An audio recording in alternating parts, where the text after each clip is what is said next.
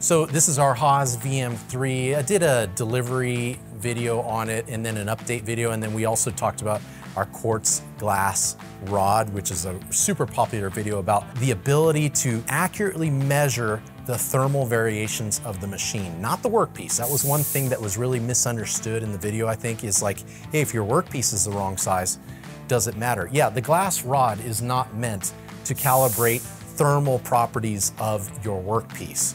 You do want to know that your machine, when you dial it in to a certain distance, that that distance is actually accurate and your ball screw isn't undergoing any thermal dynamic changes. So behind me, we standardized with two Pro Pallet bases. We made ourselves a custom vacuum chuck that has locking elements on the bottom side. So all of our setups are pretty much standardized where we put in, for example, this is our 1320 vacuum chuck size. We can do two 914s, two 1313s, a larger 1824, a larger 13 and a half by 30.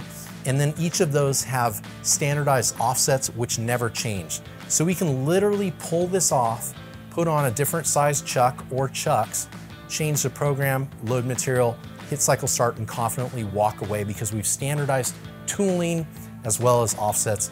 It makes production so easy.